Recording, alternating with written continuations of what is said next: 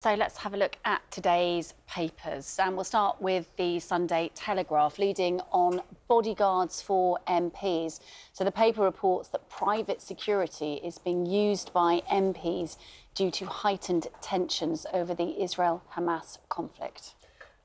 Boot out this bigot is the headline on the front of the Sunday Mirror next to a picture of Lee Anderson. The Conservative MP's been suspended by his party following comments about the Mayor of London, Sadiq Khan.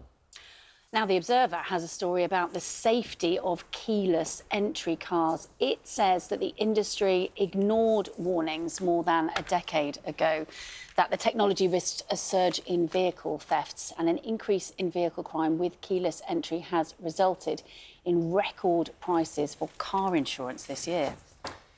And the Mail on Sunday is reporting that actor Renee Zellweger will be returning as Bridget Jones for a fourth time. According to the paper, filming begins in London in May. Oh, looking forward to that. Well, there's another film to add to the list. There to watch, is, a... isn't it? Don't I? I'm getting so much grief now, having not seen Oppenheimer. I'm, i apologise. I will go home this afternoon. I will watch it. Some would say fairly so, it. but um, you just you saw this little story in uh, the Mirror, didn't you? Just to finish off for the paper. Yes. How much would you pay for Ed Sheeran's old socks and pants? Well, no, uh, there's a question. I mean, a charity shop is hoping that it's going to give them a boost. He's donated loads of old stuff, including bracelets, baseball caps, and so on old socks, pants, and it's for the East Anglia pants. Children's Hospices charity. Um, they've already raised nearly £30,000 uh-huh. selling his old stuff on eBay.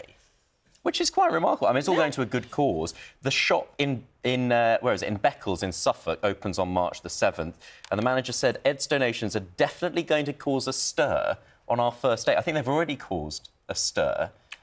Yes, I think they have. I mean, I'm hoping that they're not the pants that he's worn every day for the last, you know, 10 years, that they are sort of box fresh and just... I think so. Maybe um, he bought them, changed his mind. Just a hint, of, a hint of Ed. He's, he's picked the box and he's passed them on.